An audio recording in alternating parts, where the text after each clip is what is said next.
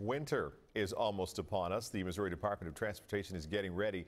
MoDOT held its first statewide winter operations drill today. During that drill, MoDOT activated its Emergency Operations Center. The department also deployed snowplows across routes in response to a simulated snowstorm.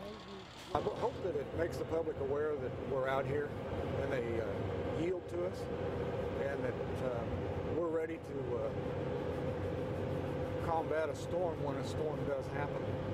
MoDOT spends about $42 million every year to keep the roads clear.